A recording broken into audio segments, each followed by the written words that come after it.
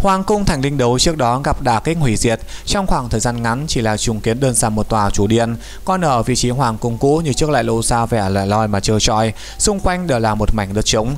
Nguyên bản đám đại thần có đề nghị muốn đổi chỗ, nó là nơi đây rất là bất thường, thế nhưng mà Từ Tâm Thạch lại lụi bài chúng nghi, ở nơi nào thế ngã, lên phải ở đó mà đứng lên, cho nên hoàng cung đế quân đấu linh liền vây xưng ra, xây dựng ra ở địa phương nguyên bản, nhưng hết thể tình giảm lại.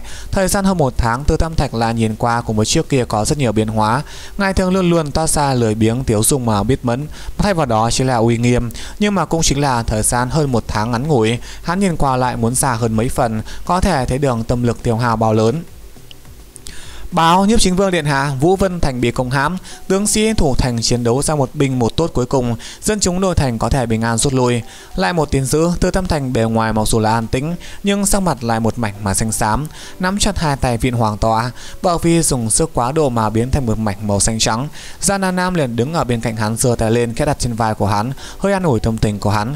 mùa tháng nay đế quân đấu linh phát sinh ra rất nhiều chuyện, tin tức hoàng cung bị hủy cuối cùng vẫn không cách nào hoàn toàn phong tỏa, rất nhanh truyền khắp cả nước nước, các nơi lập tướng có rất nhiều âm thanh khác nhau. Đế quân đấu linh cho dù là đối với phương diện lãnh địa hoàng tộc phân đất xa phong hầu khống chế rất nghiêm, thế nhưng trước kia vẫn có một ít chi nhánh hoàng tộc tách ra, trong đó có số ít người nắm giữ thực quyền. Hoàng cung bị hủy, cơ hồ tất cả trực hệ hoàng thất toàn bộ là mất đi. Tin tức mang tính hủy diệt này ngay sau khi truyền ra, tuyệt sẽ không ai không chấn động. Nơi bộ đế quốc ở trong lúc nhất thời lòng người bàng hoàng, một chút ra hỏa có xã tâm rất nhanh liền có xu thế ngò ngoe mà muốn động. Dưới tình huống này, thành linh đấu lúc này được từ Tam Thạch, các đại thần của một tướng sĩ giúp đỡ, cấp tông trưởng không lấy quyền khống chế một chút thành thị xung quanh lấy thành linh đấu làm trung tâm, đồng thời tận khả năng thu nạp quân đội cao độ mà tập quyền. Trong đó một bộ phận quân đội trọng yếu nhất chính là đại quân tinh nhuệ tiến đến chi viện cho thành Sở Lê Khắc. Chỉ khi đường chi đại quân tinh nhuệ này ủng hộ, nơi bộ đế quân mới có thể ổn định, mới có thể ngăn chặn được những kẻ dã tâm này không dám hành động thiếu suy nghĩ. Nhưng nói nghe thì dễ, thông quân của chi đại quân tình nhuệ vốn là trọng tướng đế quốc đấu linh, khi mà lấy được tin tức chính xác về sau, ngay lập tức quay trở về nhưng lại cũng không có trực tiếp trở lại thành linh đấu, mà là tiến vào bên trong cảnh nội đế quốc đấu linh về sau, tạm thời đóng chạy ở một tòa đại thành phương Nam, lấy lý do không tham dự hoàng thất chi tranh, chỉ tiếp thụ giao hoàng tộc yếu tú nhất thống ngự. Rõ ràng chỉ là bộ sáng tòa sơn quanh hồ đấu, vì tướng quân này nếu như mà trên người không phải không có hoàng thất huyết mạch, có lẽ tình huống sẽ càng thêm hỏng bét. Dưới tình huống này, từ tâm thạch quả thực là sống như bị gác ở trên lửa nướng, dùng chương cùng diện cực kỳ là gian nan. Ở phương Bắc, hai tiên hoàng tổng phân biệt lấy thành tận dung là xuất lĩnh ra quân đội khởi xướng ra phản loạn. Đế quân đấu linh nội bộ vốn đã trống rỗng, hai chi hoàng tộc quân đội đều trong lúc nhất thời hướng về thành linh đấu bên này xuất phát. Trong đó một chi quân đội càng viện là ác bất tấn, trên đường đi cướp bóc đồ giết, không ngừng là thông qua cướp đoạt cùng với giết chóc đến lớn mạnh chính mình. Từ Tam Thạch ở bên này trưởng khống số lượng quân đội mặc dù không ít, thế nhưng bởi vì thành linh đấu tinh nhuệ trước đó đã bị chi đại quân tinh nhuệ kia điều động đi, cho nên còn lại đều là quân đội phổ thông, sức chiến đấu chỉ có thể tương đương với lực lượng một trong hai chi quân đoàn hoàng tộc phản loạn.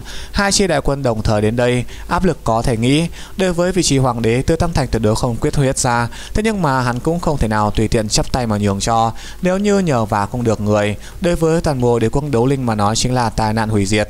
May mắn thời gian hơn một tháng này, bên phía đế quốc Nhật Nguyệt còn không có đối với đế quốc đấu linh phát động ra chiến tranh, bằng không mà nói tình huống chỉ có thể là càng thêm hỏng bét. Lực lượng không chỉ ở trong tay có hạn, dưới tình huống này căn bản không có biện pháp tốt để ứng đối. Thời điểm từ Tam Thành vừa mới trưởng khống thành linh đấu, cho thấy tài năng cực lớn, cấp tông trưởng khống cục diện thế nhưng mà muốn nói trưởng khống toàn bộ đế quốc, loại quả thật là uy vọng không đủ. Vô luận như thế nào mà nói, hắn cũng không phải giống như dòng họ hoàng tộc, cũng không phải thật sự là người thừa kế hoàng tộc.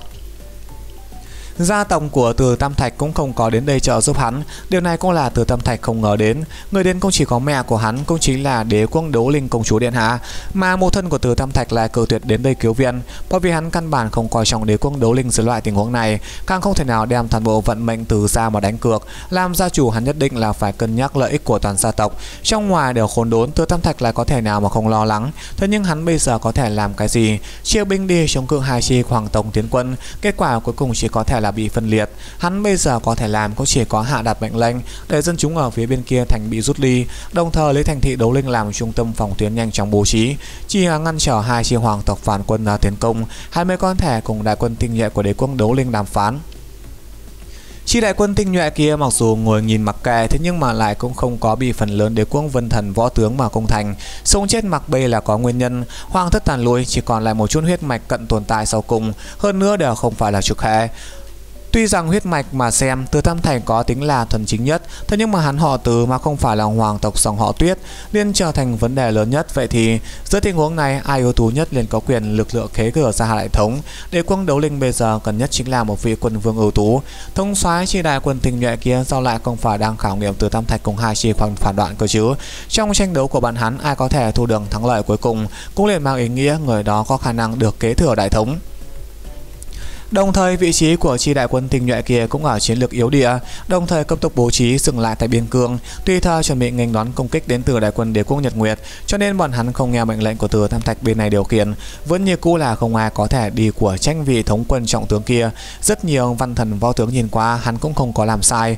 Từ Tam Thạch lúc này đã từng nghĩ tới muốn bứt ra mà đi, thế nhưng mà thật sự có thể rời khỏi sao? Hai chi quân đoàn hoàng thân tuyệt đối là không phải người thừa kế tốt, mà trên người của hắn cuối cùng chảy xuôi hoàng thân huyết dịch Hắn thật sự không hy vọng nhìn thấy tương lai đế quốc đấu linh liền bị đế quốc Nhật Nguyệt hủy diệt, cho nên thương lượng với mẫu thân về sau, Từ Tâm Thành quyết định kiên trì, coi như tương lai muốn rời khỏi cũng nhất định là phải làm cho toàn bộ nội bộ đế quốc trước đó ổn định lại nói. Cuối cùng xử lý xong các loại công vụ, lấy tu vi hồn đấu la của Từ Tam Thạch lại có một loại cảm giác kiệt sức, văn vo báo quan nhào nhào thối lui, trong đại điện hoàng cung lập tức trở lên trống rỗng. Hai tên gia hỏa bên kia, lúc này người cũng hẳn đều không có cường giả gì, không bằng chúng ta cũng tiến hành một trận hành động trảm thú, đem bọn hắn đến xử lý, hết thảy vấn đề liền giải quyết dễ dàng. Nam Thu Thu nắm chặt nắm đấm hướng về Từ Tam Thạch đề nghị.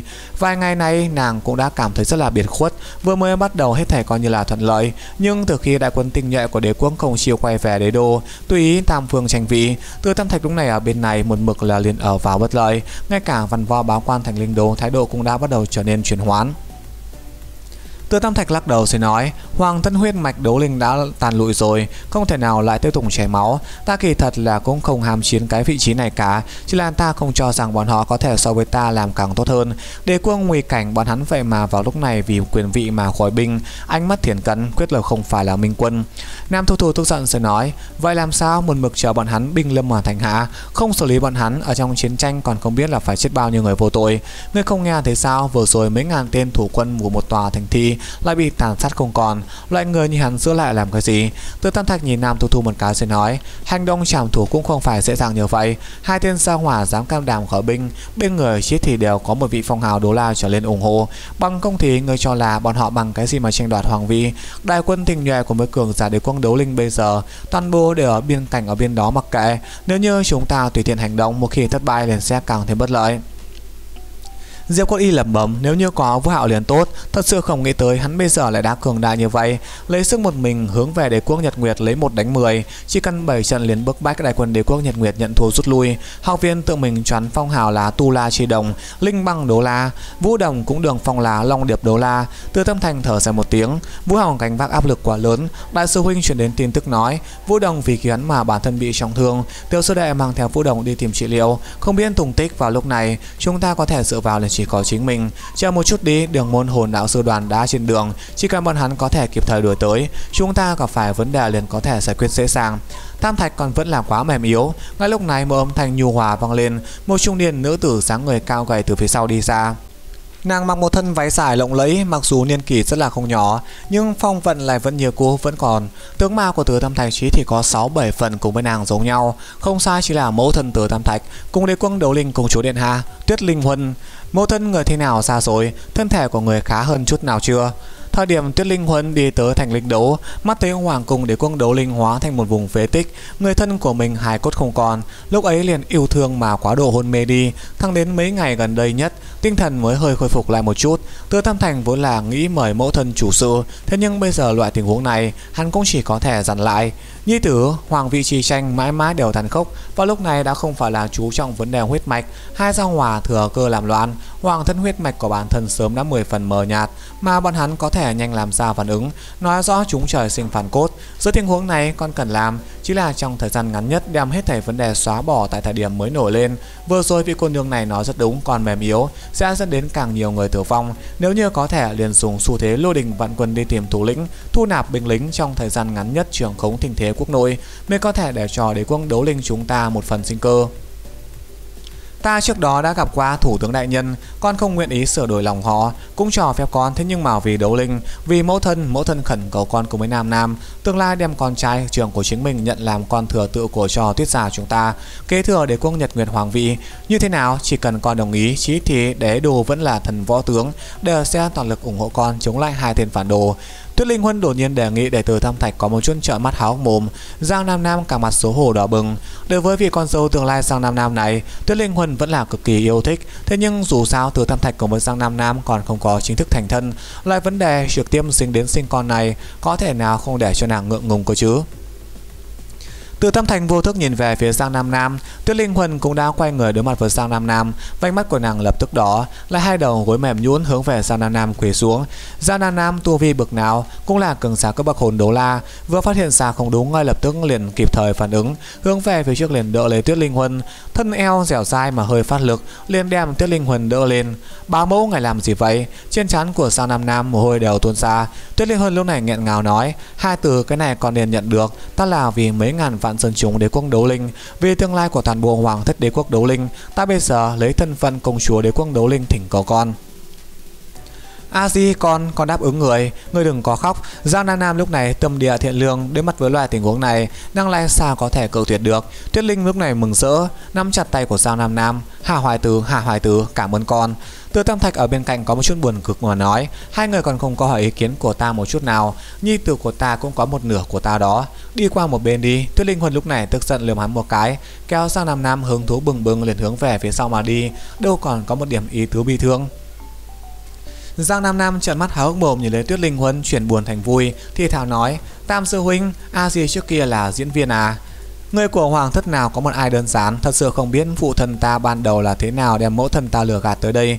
Bây giờ ta có một chút minh bạch, Vì sao phụ thân ta không chịu đến? Nói không chừng là nếu hắn đến, Mẫu thân ta liền sẽ quân lấy hắn để ta sửa họ. Cẩn thận, Quý Tuyệt Trần lúc này một mực đứng ở bên cạnh Không có mở miệng, đột nhiên hét lớn một tiếng. Từ Tam Thành cũng ngay lập tức liền kịp thời phản ứng. Trên người quang mang lóe lên, lập tức cùng với Nam Tu Tu đổi vị trí. Huyền Vũ Thân bỗng nhiên xuất hiện trên người, đinh một tiếng, một tiếng giòn tan vang lên, khí tức sắc bén bè tán loạn, lại cắt đứt không khí mà suy suy rung động, môi đao hắc ảnh cũng theo đó mà từ trong không trung khí ra. Trong tay hắc ảnh kia là có một thanh dao găm, toàn thân hiện ra ám tử sắc tàn mắt ra hào quang u lãnh. Một kích không trung lúc này, thân thể quán hơi trao đảo một cái, lập tức tránh đi chính diện Huyền Vũ Thuẫn. Đến bên cạnh Tử Tam Thạch lại một kiếm đâm ra, tốc độ nhanh chóng giống như ánh sáng.